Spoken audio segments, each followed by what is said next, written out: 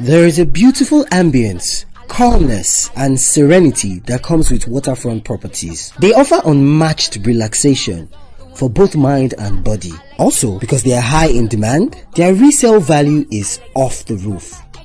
A good example is the popular Pinnock Beach Estate in Lekki Phase 1, where lands cost over 250 million naira. You may or may not want to invest so much in a property right now. But what if I tell you that there is a waterfront property just two bus stops from Ajah that is positioned to be the next big thing after Pinnock Beach Estate?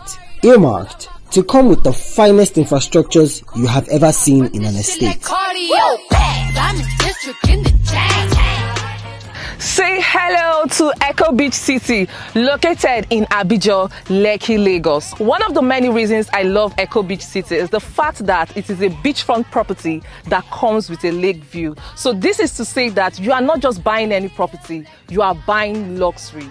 In Eko Beach City, there will be beautiful greenery and the goal is to plant over 10,000 trees in this very estate. And every investor that subscribes to Eko Beach City will have their names engraved on each tree.